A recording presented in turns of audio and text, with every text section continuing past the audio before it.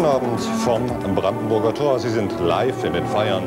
Zehn Jahre ohne Mauer. Auf der Bühne läuft schon das Festprogramm seit 19.30 Uhr. Es steuert langsam auf den Höhepunkt des Abends zu. Und im Augenblick spielt Mstislav Rostropovic mit seinen Cellisten. Und ich würde vorschlagen, wir hören einfach mal kurz rein.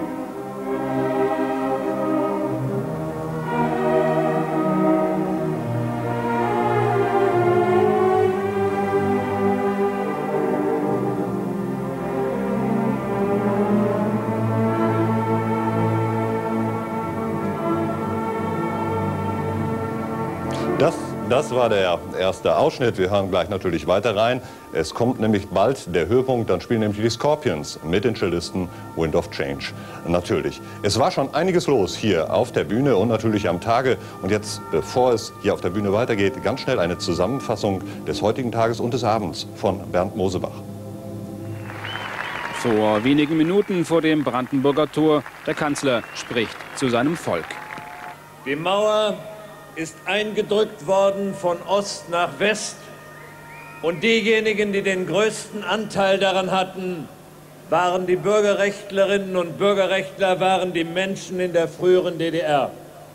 Ihnen vor allen Dingen gilt unsere Dankbarkeit.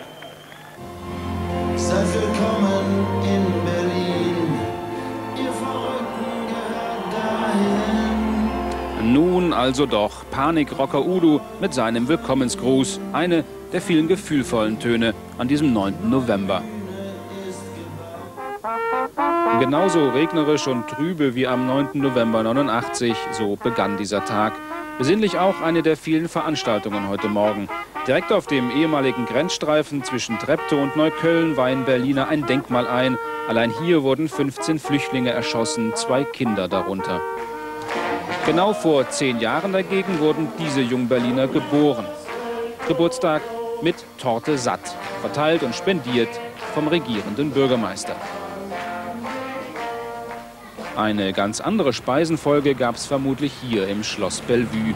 Was die geladenen Weltpolitiker da im Einzelnen verzehrten, wurde natürlich nicht verraten. Die Herren wollten unter sich bleiben. Und wieder Musik, dem Anlass angemessen.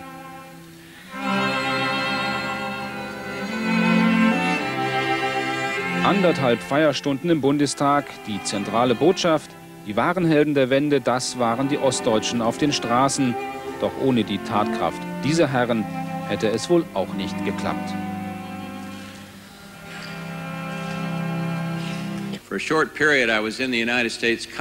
Für eine kurze Zeit war ich im amerikanischen Kongress und im Weißen Haus. Und ich mag diesen Geist der Harmonie, Freundlichkeit und Herzlichkeit. Und ich würde diesen Geist gerne in eine Flasche füllen und mit in unseren Kongress und ins Weiße Haus mitnehmen. Das wäre eine wundervolle Sache. Die zweite Botschaft dieser Veranstaltung, der 9. November, ist mehr als Einheitsfreude.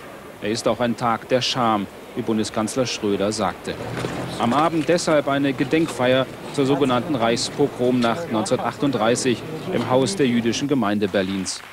Scham und Freude, deutsche Geschichte in diesem Jahrhundert, deutsche Geschichte am 9. November.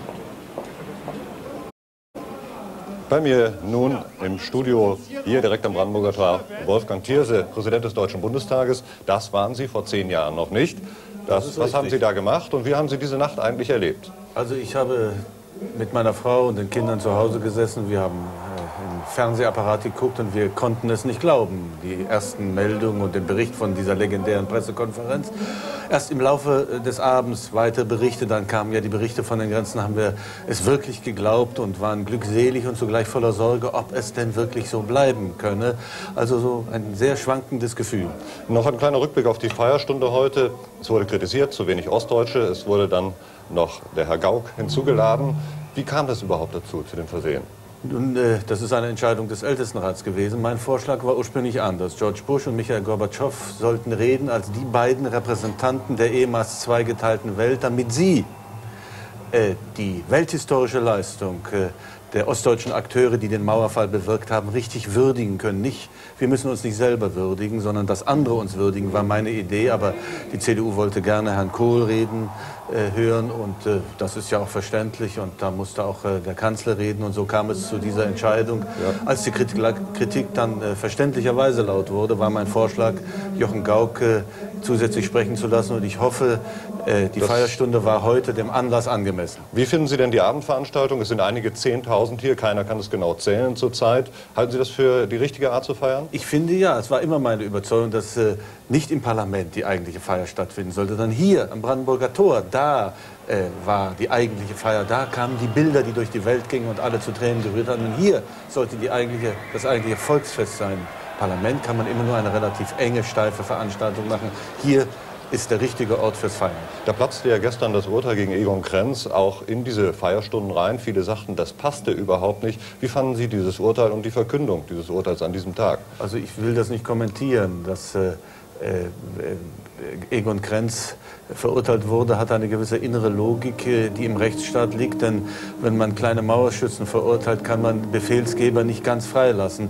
Allerdings glaube ich, äh, dass das juristische Kapitel ja. im Grunde abgeschlossen ist. Jetzt geht es um wissenschaftliche, um moralische, um dialogische Aufarbeitung ja. der Geschichte. Herr Thierse, wir sollten jetzt kurz mal reinhören. Wind of Change, die Scorpions und die Cellisten.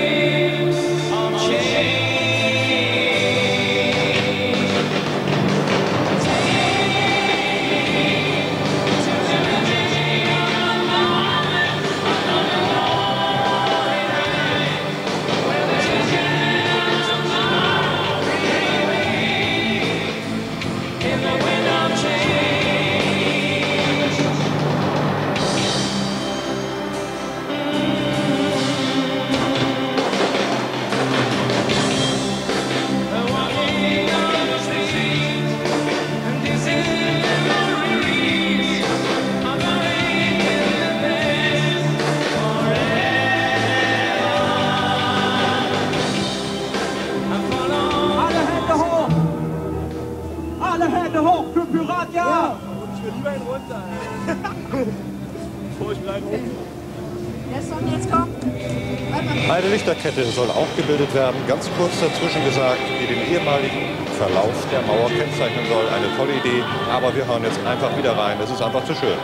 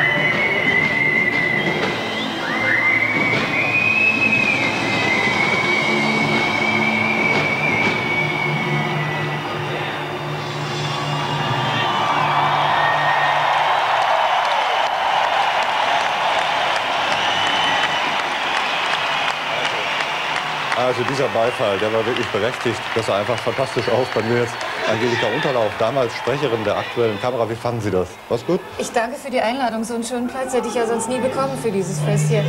Und ich denke natürlich, zehn Jahre zurück ist es fast von der Zeit her deckungsgleich, dass wir in der Redaktion gesessen haben und über die Sendung äh, gesprochen haben, die da bis 8 Uhr gelaufen ist.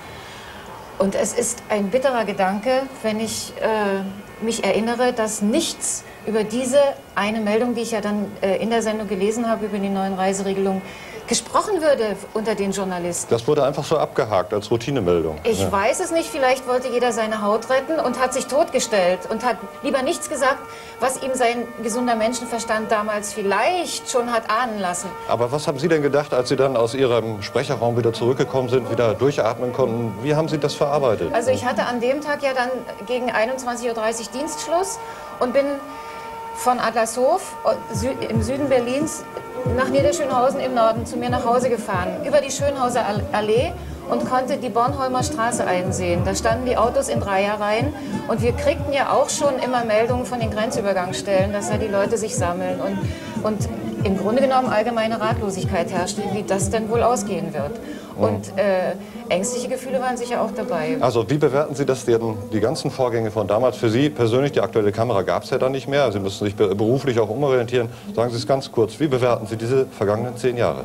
Das ist ein neues Leben für mich und äh, ich bin ziemlich dankbar dafür. Gut, danke für das Gespräch.